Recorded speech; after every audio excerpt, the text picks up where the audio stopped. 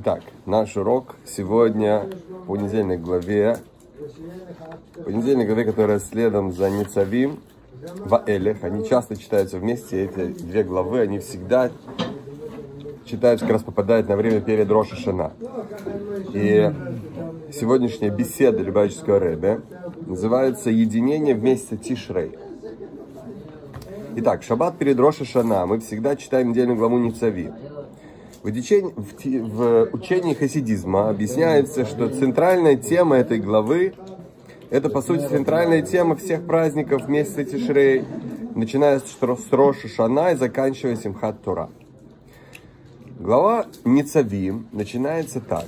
Сегодня все вы стоите перед Богом вашим, главы ваших колен, ваши старейшины, стражи, каждый человек из народа Израиля, ваши дети, ваши жены, переселенцы, живущие среди вас, от дровосека до водоноса. И Тора подчеркивает, как весь без исключения народ Израиля стоит перед Всевышним, от самых значительных людей, главы высших ваш, ваших колен, ваши старейшины, стражи, до самых простых, дровосек и водонос. То есть акцент здесь стоит на единстве всех частей народа, когда они стоят перед Господом, вашим Богом, все равны, и самый мудрый, и самый простой еврей. То есть, да, когда перед Всевышним все равны, все частичка Бога, все одинаковые, независимо от статуса в, в обществе, все одинаковые, и каждый играет незаменимую роль. И очень важен, по сути. По поводу трубления в шафар, Галаха говорит, все звуки шафара кошерны. Другими словами, неважно, какой звук выходит из шафара, любой кошерен. И более, в более глубоком смысле неважно, на каком духовном уровне и в каком положении находится трубящий шафар. Его действие доходит до Всевышнего и оказывает нужное действие. То есть можно, не умея трубить шафар, протрубить Рош Хашана, и это зачтется как? Ну, вообще очень готовиться сильно к, к этому, потому что это очень важный момент. Потому что в этот момент сменяется как бы энергия, вся энергия в мире меняется. То есть энергия прошлого года уходит, и в этот момент спускается в мир новая энергия, совершенно нов, новое благословение на весь год. Нельзя просто так. Как, ну, ведь да, вообще, вообще это очень-очень очень-очень важно. Есть много всяких историй по этому поводу.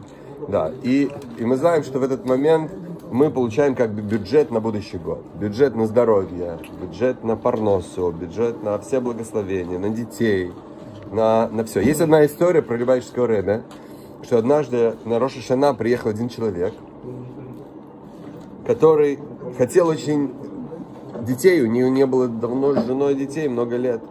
И в этот момент, когда Рэбе трубил, он очень сильно молился о том, чтобы у него были дети, чтобы у них появился ребенок. И в тот момент Рэбе трубил, и вдруг у него появилась какая-то проблема, что он не мог, не мог э, этот звук, не мог вытрубить, вытрубить звуки. И все затихли в синагоге, и все были просто в, в таком возбуждении, и, и, и все ничего не понимали, потому что все знают, что это очень важный момент, что от этого зависит благословение для всех во всем. И у Рэба не получается протрубить. И этот человек, понимая, что, возможно, из-за него происходит эта ситуация, он отказывается от своей просьбы. Проходит время, и после Роша Шана Рэбе принимает людей, и этот, этот человек приходит к Ребе и, и говорит, говорит ему Ребе, мне кажется, из-за меня была проблема во время трубления в шифар, потому что я так молился ребенке, и Ребе благословил его. И спустя год этот человек приехал к Ребе сообщить, сообщить добрую вещь, весть, что у него родился ребенок. И когда он к Ребе пришел, сказал, Ребе, у меня родился сын то Рэбе ему сказал, а, тот шафарный. Рэбе сразу смог ассоциировать эту ситуацию. Да, поэтому, да, очень-очень важный момент.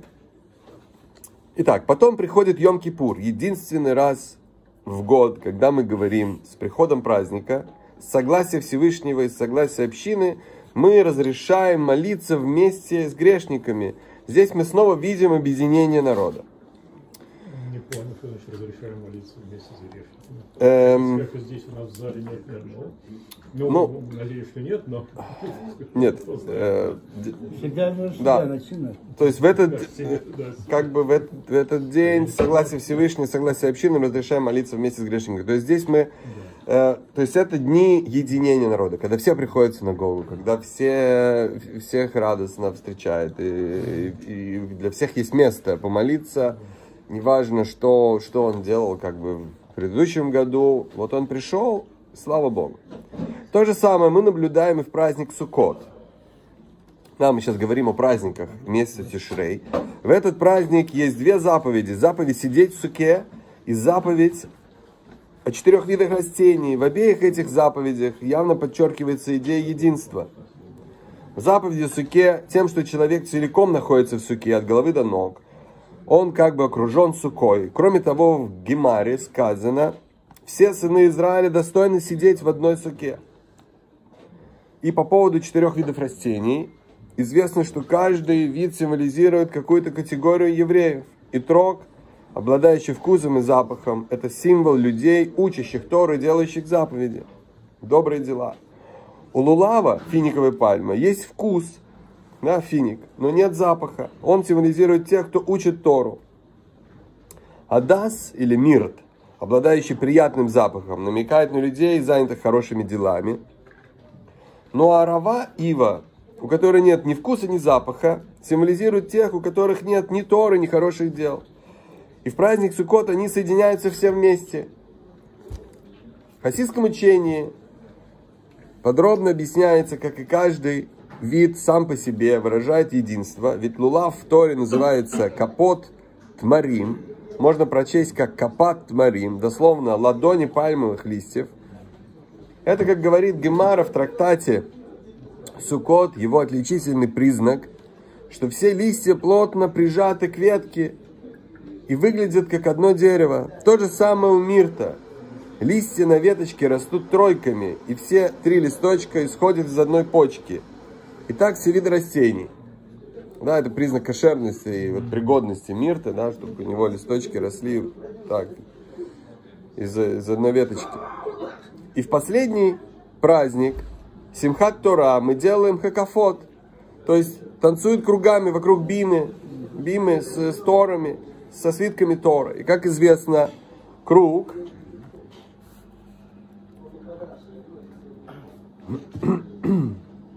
символ единства. Ведь в нем не видно ни начала, ни конца. Все его точки совершенно одинаковы. Месяц Тишре это месяц, от которого заряжаются на весь год, да, получают энергию на весь год. Из этого месяца мы должны взять на вооружение на весь год идею единства еврейского народа, что связано и с царством, и с проникновением божественного присутствия в наш мир. Да, то есть в Роша Шана мы коронуем Всевышнего на царство, да, провозглашаем его царем. И все эти дни, они символизируют единство нашего народа. Ведь главное единство это, это именно Всевышний. Всевышний един, и имя его одно. Единство это еще и прекрасный способ получить все благословения Создателя. Как мы говорим в молитве. Отец наш, благослови нас всех вместе, как одного. И благословение, конечно же, все вместе нам получить проще. Да, эта идея, она исходит из того, что в миньяне, когда люди молятся, то они могут быстрее получить вместе благословение, потому что достоинство всех складывается вместе. Если один человек просит что-то Всевышнего, то Всевышний может ему ответить сразу, может не сразу, может не, не совсем. А когда в миньяне все вместе молятся, 10 человек, Всевышний видит достоинство всех вместе, поэтому молитва поднимается сразу. Это так важно молиться в миньяне. Вот, и мы просим Всевышнего, чтобы Он нас благословил всех вместе, как, как один. И сегодня еще очень важная дата, да, 28 Лула и 29 Лула, и сегодня день рождения третьего любавического рэбе Цемах Цедека. И про него эм, есть одна история, когда он был маленьким мальчиком, то его дедушка, который воспитывал его, э, дедушка Алтеребе. Он его воспитывал, потому что его дочь Двора Лея, когда мальчику, когда Цемах Цепаку было три года, она увидела, что на небесах приговор, смертный приговор был принесен ее отцу, и что он должен был уйти из мира, и она пожертвовала собой и отдала свою душу за выкуп отца. Вот так было, да. То есть была очень особая история. Она собрала трех хасидов, Ребе, сделала такой бейдин и сказала, я хочу отдать свою душу за выкуп отца, чтобы отец остался, потому что это очень важно для мира. И, и она на самом деле ушла. Ушла. Э, и ребенку было три года. И она просила отца воспитывать ее сына, как своего собственного. Он воспитывал его. И однажды Алтареб увидел, как он, мальчик, играл на улице с другими детьми. Они играли так. Они поставили бревно. И поставили бревно во дворе так, что один конец бревна был на земле, а второй конец бревна был в окне дома. И мальчики пытались по этому бревну подняться вверх. И каждый, кто пробовал, он доходил, ну, максимум до половины и падал вниз, спрыгивал, он не мог подняться туда. И вдруг Алтареба увидел, как Цемах Цедек, будущий Рэбе Цемах Цедек, этот мальчик, поднимается спокойно, медленно, но уверенно до самого верха в окно. И тогда он его встретил, спросил, как ты смог э, подняться, подняться по этому бревну? Никто до тебя не смог это сделать, все падали. Он сказал, потому что другие мальчики, когда шли по бревну, они смотрели вниз, и в какой-то момент они пугались. И они не могли подняться дальше, они падали. Я, когда шел, я все время смотрел только наверх. Я все время только смотрел наверх, это удержало меня. Я смотрел на небо, я смотрел, думал о Всевышнем. И это говорит о том, что когда мы связаны с верхом, тогда мы держимся и мы не падаем. И дай Бог, чтобы у нас у всех был счастливый, сладкий, благополучный, здоровый, благословенный Новый год.